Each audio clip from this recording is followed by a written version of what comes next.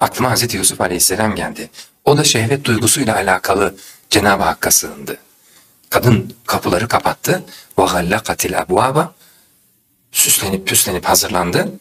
Yapayalnız bir odada aldı onu karşısına ve kalet dedi ki hey telek hadi sene sen. Kışkırttı onu kendisine. Hazreti Yusuf Aleyhisselam karşısında kadını kendisinde şehveti görünce tam çaresiz. Kale Cenab-ı Hak dedi ki Yusuf dedi ki ne dökülecek acaba ağzından? Git be kadın başımdan. Kadınla kadınla çözülecek bir şey yok. Kadın yapacağını yapmış zaten. Hazreti Yusuf'un dilinden maadallah Allah'a sığınıyorum. İnnehu Rabbi, o benim Rabbim. Ehsene methvay. O bana iyi davrandı. Ben şimdi ona burada hıyanet edemem. Cenab-ı Hak dedi ki Allah'a sığındı ama وَلَقَدْ hemmet bihi. Kadın ona hamle yaptı, meyletti, atağa geçti. وَهَمَّ biha.